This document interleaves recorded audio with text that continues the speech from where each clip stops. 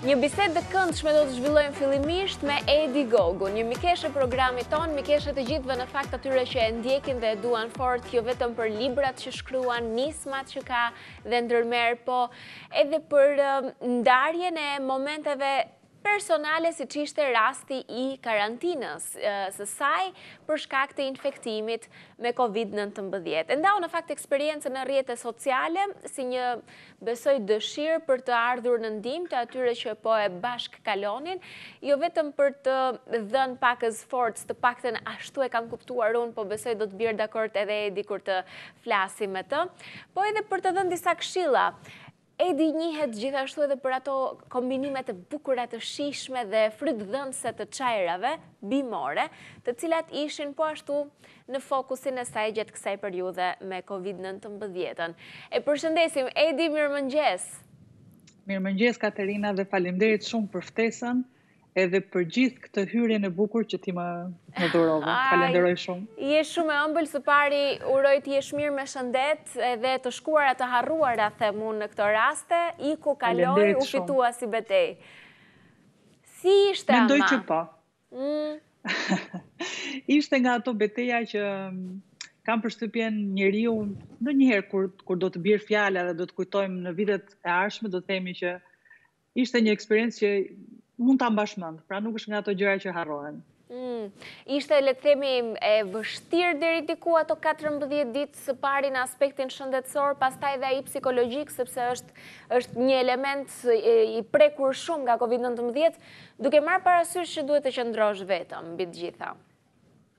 Kjo është ajo gjë që e bën më të vështirë. Në momentin kur Mjeku mua më thotë që zonjë ju keni dalë testi juaj është pozitiv edhe në këtë moment juve duhet automatikisht të ndajeni nga familjarët tuaj. Ishte shumë e vështirë sepse nuk e di, ndoshta në atë moment e kuptova se çfarë po ndodhte.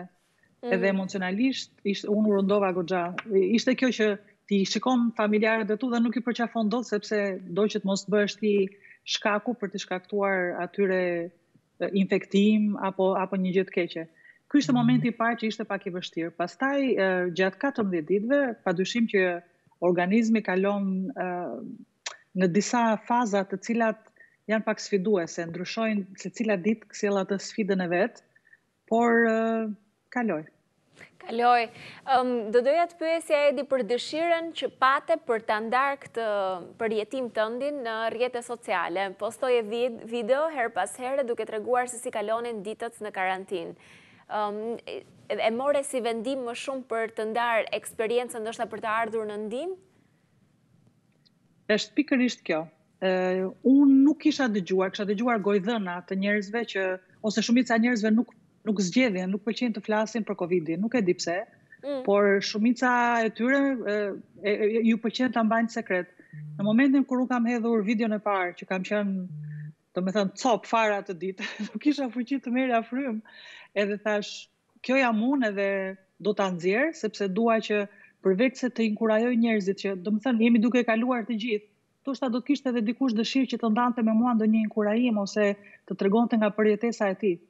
Edhe unë vendosa që të jem e vërtetë në në ditarin tim. Ka disa ditë që unë nuk kam postuar dot video mm. sepse nuk kam qenë mirë fizikisht, kam qenë shumë keq. Edhe kam arritur të nxjerr vetëm foto të gjërave që kam qenë duke bërë, për shembull të ndonjë çaji që unë kam zgjedhur të pi atë ditë, apo të ndonjë libri që kam lexuar, sepse ato kanë qenë ditë shumë shumë të vështira dhe unë nuk zbrisja dot as nga shtrati, jo më që të arrija edhe s'kisha fuqi që të flisja apo të regjistroja një video. Dëshira ime ishte që nëse unë do të gjeja sadopak forcë për ta kaluar apo për ta mposhtur këtë gjë, nëse do të kishte njerëz që kjo gjë i inkurajonte apo ju vinte në ndihmë, ky ishte qëllimi dhe dëshira ime. Mhm. Dhe më vjen shumë mirë që e ke bërë këtë gjë pa e kompleksuar veten, thua se çfarë ndodhi, sepse Covid-19 është i tillë që po e jetojmë të gjithë dhe nuk ka asgjë të keqe. nëse ne pranojmë se jemi infektuar, se të treg... është, është më se normale tanimë, kaq shumë sa po e dëgjojmë të përhapur. Dhe mbi të gjitha që je kujdesur ama të tregosh vetëm anën e mirë të gjësë, pa e, pa e errësuar shumë situatën, për të dhënë optimizëm. e gjithë sfida ishte, është ajo sfida e momentit të parë, është sfida psikologjike. Faleminderit Zotit, unë e kam thënë dhe do ta them shumë herë, nga ana emocionale unë e kam kaluar shumë mirë. Sepse janë disa momente kur njeriu merr një vendim se si do ta kalojë apo se çfarë qëndrimi do të mbajë në lidhje me këtë sfidën. Fakti që ti je infektuar dhe je i sëmurë, do të thotë që kjo gjë nuk ndryshon. Por mënyra se si ti do ta përcjellësh tek vetja jote dhe tek të tjerët ka të bëjë shumë. Dhe unë vendosa që në ditën e parë të karantinës unë të thoja në mendjen time kjo është dita e katërmbëdhjetë. dhe pastaj duke thënë dita e 13, pra fillova të bëja një zbritje mhm. që të arrija tek ditët e përfundimit të kësaj gjëje. Dhe bëra një matematikë të thjeshtë. Nëse unë do të panikohem dhe do të them obobo çfarë do të më ndodhë, kjo nuk do më ndihmonte aspak.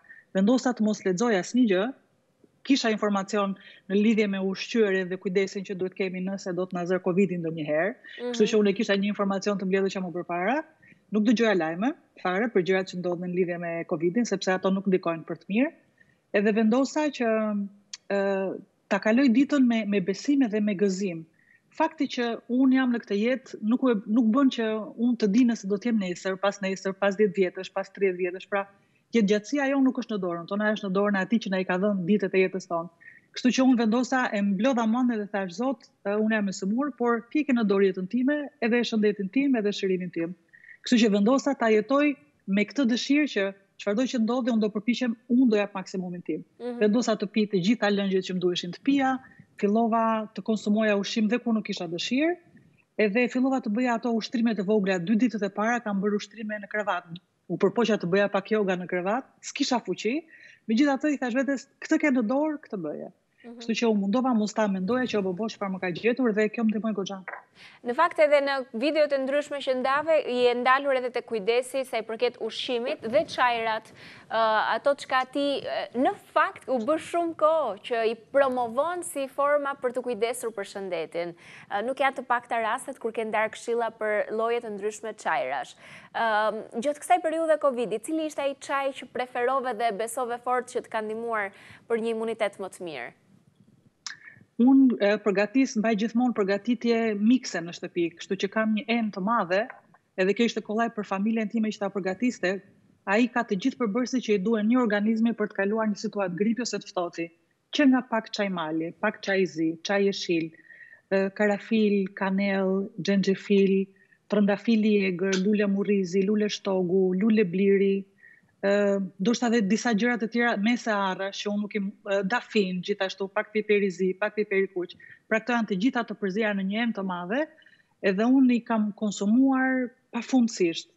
Mjekët më kanë këshilluar që duhet të vazhdoj me konsumimin e çajrave edhe pesë-gjashtë muaj, pasi organizmi ynë edhe mushkëritë kanë nevojë për për t'u pastruar, sepse mund të jenë ca njolla apo shenja të vogla, të cilat mund të kalohen thjesht me një hidratim të mirë.